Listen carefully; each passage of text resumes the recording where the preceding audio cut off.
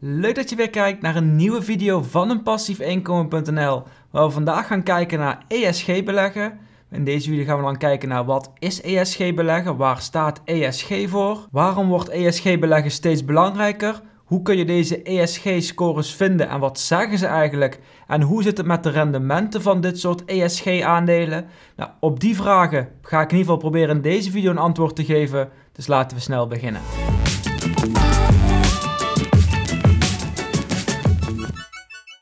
En laten we dan beginnen met de vraag: wat is ESG beleggen? Waar staat ESG voor?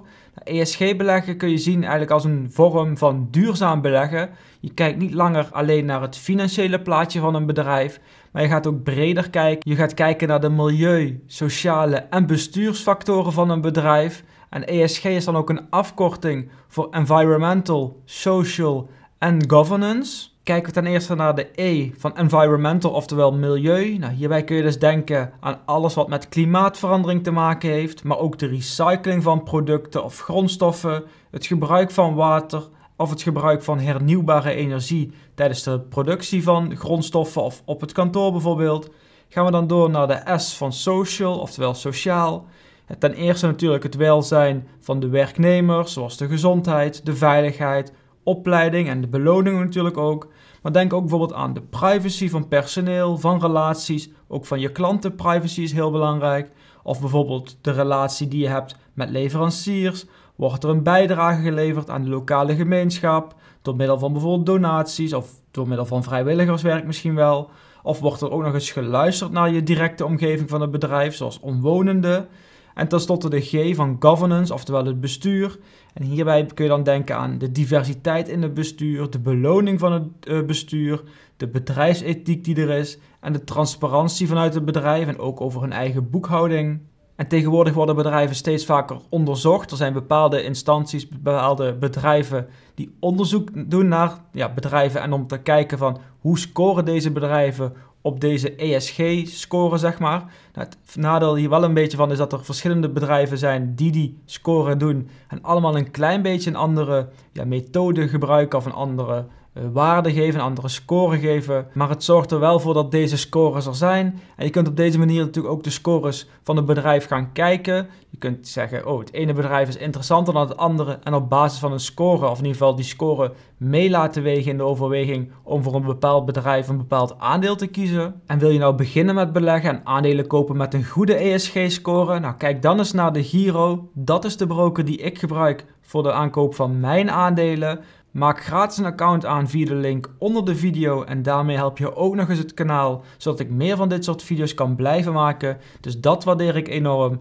Gaan we door naar het volgende stukje en dat is waarom ESG steeds belangrijker wordt. Want we zagen het de afgelopen weken nog, bijvoorbeeld nog bij de rechtszaak van Shell. Je ziet dat mensen, je ziet dat beleggers, aandeelhouders niet alleen meer naar het financiële plaatje kijken, maar eigenlijk steeds meer willen. Ze willen ook zorgen dat het bedrijf bijdraagt aan een betere wereld. Want je kunt wel in een bedrijf investeren om rendement te maken, om vermogen op te bouwen. Maar als je dan in de toekomst veel vermogen hebt, maar de wereld is niet meer zo goed als nu, of het is gewoon een puinhoop misschien zelfs wel, ja, dan heb je ook weinig aan dat vermogen in de toekomst. Dus het is eigenlijk een combinatie van natuurlijk wil je zorgen dat je genoeg geld hebt, uh, dat je genoeg vermogen hebt in de toekomst, maar je wilt ook gewoon voor zorgen dat de wereld in de toekomst ook leuk is om te leven. En dan hoef je natuurlijk niet per se te gaan beleggen in bedrijven die het beste zijn, die de beste ESG-score hebben in een bepaalde sector bijvoorbeeld. Je kunt het eigenlijk ook juist omdraaien, dat je juist bedrijven uitsluit die juist een slechte score hebben. Want kijk bijvoorbeeld naar een jaar of tien geleden hadden geloof ik de, de olieramp van BP. Of kijk nog iets recenter, het emissieschandaal van Volkswagen. Kijk, dat zijn bedrijven die niet zo bezig zijn met milieu. En dan wordt natuurlijk, ja, heeft dat impact op de koers. Want niet alleen kost het miljarden om dit probleem op te lossen, om bijvoorbeeld die olie op te lossen, om auto's terug te halen, mensen schadevergoeding te geven. Dus dat kost heel veel geld. Maar ook de beurskoers gaat hard onderuit. Dus eigenlijk bedrijven die juist slecht scoren op basis van ESG, kunnen juist een hoger risico vormen, omdat je juist te maken hebt met dit soort risico's die andere bedrijven natuurlijk veel minder hebben. En bedrijven merken deze trend natuurlijk ook. Deze trend is al misschien wel 15 jaar uh, eigenlijk aan de gang, want volgens mij de eerste keer dat deze term werd gebruikt was in een rapport van de VN ergens in 2005. Dus bedrijven merken gewoon dat aan, mensen, uh, maatschappij, aandeelhouders beleggers gewoon interesse hebben in bedrijven die een betere score hebben. Dus om die reden doen ze er al meer mee. Maar het kan ook zo zijn dat juist wanneer er bijvoorbeeld vanuit de overheid een aanbesteding komt, dat de overheid juist eisen stelt en juist alleen wel bedrijven meeneemt in een aanbesteding die juist goed scoren op dit soort dingen. Dus eigenlijk wederom kan dat een indirecte verplichting zijn om als bedrijf zijnde er toch mee bezig te zijn. En je zult ook steeds meer zien dat bedrijven hier eigenlijk ja, steeds meer transparantie over geven, uh, vanuit zichzelf al mee naar buiten komen, steeds meer jaarrapporten, steeds meer kwartaalcijfers. Kun je dit soort informatie makkelijker terugvinden. Sterker nog, ze gaan het vaak als PR of als marketing gebruiken. Dan moet je een beetje gaan opletten en een beetje objectief blijven. En misschien is dan juist wel zo'n score vanuit zo'n instantie ja, veel beter, omdat je dan veel beter met elkaar ook eh, bedrijven kunt vergelijken. En laten we dan gaan kijken naar wat ESG-scores, want we weten nu wat, ja, waar ESG voor staat. We weten dat er bedrijven zijn en dat ze ook daarop gewaardeerd worden. Dus misschien wil jij daar ook wel iets mee gaan doen bij je volgende belegging. Of misschien wil je wel weten met de aandelen die je nu hebt, hoe die scoren, wat voor ESG-score die hebben. Nou, hoe kunnen we dan een ESG-score gaan zoeken? Eigenlijk is het heel simpel. We beginnen gewoon in Google en laten als voorbeeld het aandeel Apple nemen. Dan typen we in dit geval waar zijn we naar op zoek? Nou, we zijn op zoek naar de ESG van Apple. Dus als we dat gaan zoeken, krijgen we vaak eerst wat advertenties. Die kunnen we overslaan. We kunnen ook de website van Apple wel bekijken, want natuurlijk hebben zij ook iets te vertellen. Maar dat is vanuit het bedrijf zelf. Dat is vaak marketing, dat is PR. Dat sla ik ook even over. We gaan bijvoorbeeld naar deze website. Uh, een bedrijf die ja, dit soort scores zelf doet. Sustain Analytics. En ook MSCI.com. Uh, die kennen we vaak van de, uh, van de aandelen, van ETS met MSCI World bijvoorbeeld. Nou, ook zij hebben een waardering, dus laten we eerst het eerste bedrijf kijken. En dan zul je hier zien dat zij een bepaald model hebben. En zij zeggen het is een low risk. Hier kijken ze bijvoorbeeld naar welke sector zitten ze of hoe scoort het over de hele wereld gezien.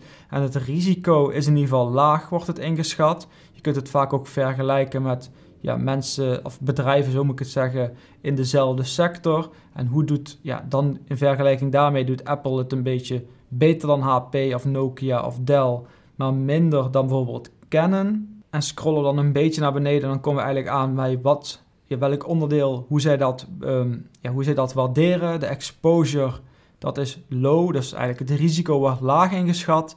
En het management, eigenlijk de G, de governance, die wordt juist sterk ingeschat. Uh, we zien dat het, ja, het kan average zijn, dat zie je vaak. Hè. Het is of heel sterk, gemiddeld of weak, laag.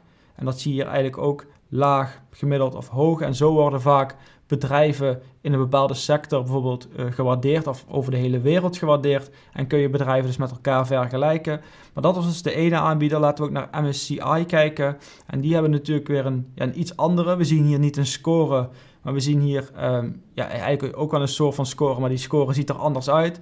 Dit soort dingen zien we vaak, uh, vaak terugkomen bij aandelen en bijvoorbeeld bij rente en dat soort dingen. Of het uh, triple A-rating is, dubbel A, triple B. En dat geeft eigenlijk aan hoe het bedrijf scoort. Nou, we kunnen hier wel uit opmaken dat ook Apple bij hun een beetje in de middenmoot zit. En dat zien we ook hieronder terugkomen. Ze scoren average in de, ja, de 50 bedrijven die hier in deze sector bezig zijn. Dus Apple ja, komt vaak over alsof het heel erg goed is. Maar ze hebben lang niet overal misschien ook wel grip op. En daarom komen ze eigenlijk maar gemiddeld uit. We kunnen in dit geval ook zien hoe de score in het verleden was. In het verleden deden ze het beter. En eigenlijk de laatste, ja, sinds 2019, 2020, worden ze wat lager ingeschat. En hieronder kunnen we zien uh, hoe in dit geval MSCI Apple eigenlijk inschat. Kijken we dan naar de rendementen van ESG-beleggen, dan kunnen we eigenlijk zien dat uh, aandelen bedrijven met een goede ESG-score een beter rendement hebben gehaald de laatste tijd.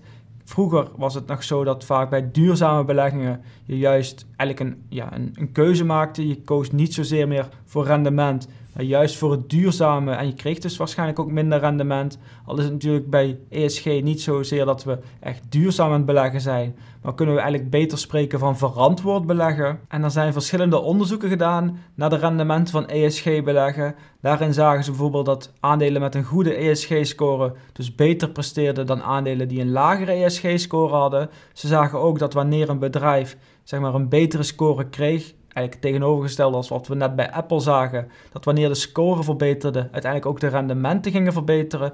En zoals we eerder al hebben gezegd, juist bedrijven met een lage ESG-score, die werden gezien als bedrijven met een hoger risico. En dat viel dus ook een stukje tegen ten opzichte van bedrijven met een goede ESG-score. En dat is eigenlijk ook wel logisch, want particulieren, maar ook zeker grote partijen, pensioenfondsen, grootste beleggingsfondsen, die gaan ook natuurlijk letten op ja, deze ESG-scores, particulieren meer omdat ze zelf een bijdrage willen leveren. Deze grote fondsen omdat ze vaak het geld van anderen gaan investeren. En deze personen misschien zeggen van ik wil mijn pensioengeld niet belegd hebben in bedrijven die met wapens doen of met tabak of misschien wel met olie. Dus ook deze bedrijven, deze grote fondsen gaan beter letten op deze ESG-scores. En als heel veel partijen en heel veel geld dus eigenlijk juist richting bedrijven gaat met een goede ESG-score, dan is het eigenlijk logisch dat deze bedrijven kunnen profiteren, want er is meer vraag naar hun aandelen, er is meer vraag in het bedrijf komt misschien ook wel meer geld hun kant op en kunnen daarom juist extra profiteren. En zoals eerder gezegd, juist bij aanbestedingen kan het zo zijn dat bedrijven met een lage ESG-score juist niet mogen meedoen of worden uitgesloten. En dan is het dus zo dat een bedrijf eigenlijk wel verplicht wordt om betere ESG-scores te gaan creëren, om het bedrijf aan te passen, zodat ze juist wel mee kunnen doen aan aanbestedingen, omdat ze anders gewoon een gedeelte van de omzet missen. Ja, en als er minder omzet is, is er minder winst, is het aandeel in het bedrijf gewoon minder interessant. En ESG-aandelen zijn dus overal te vinden, steeds meer bedrijven zijn er bewust mee bezig en het wordt ook vaak duidelijker aangegeven, dus het is steeds makkelijker om ze te vinden. Maar als je daar naar op zoek gaat, ga dan niet per se, zoals ik zei, niet naar de website van het bedrijf zelf, omdat je dan vaak daar meer een marketing- of PR-praatje krijgt. Maar dan ga je juist naar ja, deze onafhankelijke instellingen die juist alle bedrijven um, ja, een score toegeven. Omdat dat meer onafhankelijk is. Dat geeft een beter beeld. Tenminste, zo zie ik het in ieder geval. En dan heb je natuurlijk, zoals gezegd, heel veel mogelijkheden. Denk ten eerste aan losse aandelen. En hier kun je bijvoorbeeld denken aan NIO, Tesla of Plug Power. Dit zijn bedrijven die bezig zijn met het elektrisch rijden of met waterstof. Maar je kunt ook denken aan bedrijven zoals Siemens Energy, Deere van John Deere tractoren bijvoorbeeld, die ook heel veel bezig is met de landbouw. Of denk aan LG Chem, die juist bezig zijn met de accupakket. Maar misschien ben jij niet zelf op zoek naar deze ESG-aandelen, maar heb je wel interesse erin. Nou, gelukkig zijn er inmiddels ook, juist omdat er zoveel vraag is en zoveel ja, ESG belegd wordt, laten we zeggen, zijn er ook ETF's die zich juist richten op dit soort bedrijven en kijken dan bijvoorbeeld weer naar de Giro, dan kunnen we hier naar de tarievenpagina gaan en vervolgens in het tweede menu naar de gratis ETF's. Want natuurlijk, de kernselectie vind ik altijd erg interessant, zeker wanneer het gaat over ETF's, omdat je ze vaak zonder transactiekosten, ja, 200 ETF's kunt kiezen. Als we hier helemaal onderaan naar de pagina gaan, en dan ben ik al iets te ver, kunnen we hier rechts zoeken. Dus als we hier ESG zoeken, dan krijgen we hier best wel wat resultaten. Je ziet eigenlijk ehm, twee pagina's met resultaten. En je kunt hier bijvoorbeeld zien dat er um, bonds zijn, oftewel obligaties, maar natuurlijk ook gewoon aandelen. En deze aandelen kan weer zo zijn dat ze misschien over de hele wereld zijn, of misschien juist Europa, de Verenigde Staten of de emerging markets. Dus dat is best wel een breed aanbod. En zoals gezegd, twee pagina's. Dus kijk vooral even uh, wat deze precies zijn en welke degene is die het beste bij jou past, waar je naar op zoek bent. Maar er is in ieder geval een best wel breed aanbod. En dit is dus nog een extra reden waarom ik voor de Giro kies, juist vanwege dit aanbod. Zelf ben ik vaak vooral geïnteresseerd in deze, de Vanguard All World, oftewel VWRL. Maar kijk vooral even op deze pagina. En mocht je een account willen openen, zoals gezegd, een link naar de Giro om gratis een account te openen vind je onder deze video terug. Dus we kunnen zien dat ESG-beleggen de laatste jaren steeds belangrijker wordt, steeds populairder wordt. Soms kiezen mensen er bewust voor om dit soort aandelen te zoeken. Maar soms kan het ook zo zijn dat bepaalde sectoren die het erg goed doen, juist ook de sectoren zijn, de aandelen zijn met een hoge ESG-score. Natuurlijk nu, zeker de laatste jaren, nu het milieu gewoon heel belangrijk is. Ja, die sectoren doen het ook gewoon erg goed. Dus dat zijn ook vaak de sectoren met die hoge scores. En dan liggen denk ik voor de komende jaren ook zeker nog kansen voor beleggers om een mooi rendement te halen. We zagen dat bedrijven steeds vaker al uit zichzelf naar buiten komen deze informatie, steeds ja, opener zijn over het boekhouding, maar ook over hun idee over het milieu. Maar ook zeker dat er bedrijven zijn die een score toekennen, waardoor het steeds makkelijker is om bedrijven met elkaar te vergelijken. En dat er natuurlijk tegenwoordig ook ETF's zijn die zich hier helemaal op richten. Juist misschien zelfs op de leaders van ESG beleggen in een bepaalde, ja, bepaalde regio bijvoorbeeld. Dus laat ook vooral weten hoe jij hierover denkt. Ben je hier al mee bezig met ESG beleggen of vind je het juist interessant of juist helemaal niet? Laat dan ook vooral weten waarom je dat denkt en doe dat via de reactie onder deze video, zijn we daarmee aan het einde gekomen van deze video en wil ik je weer bedanken voor het kijken. Vond je het een leuke, interessante video? Geef dan zeker even een duimpje omhoog. Wil je meer video's zien, maar ben je nog niet geabonneerd op het kanaal? Klik dan op abonneren onder deze video. Nogmaals bedankt voor het kijken en tot de volgende video.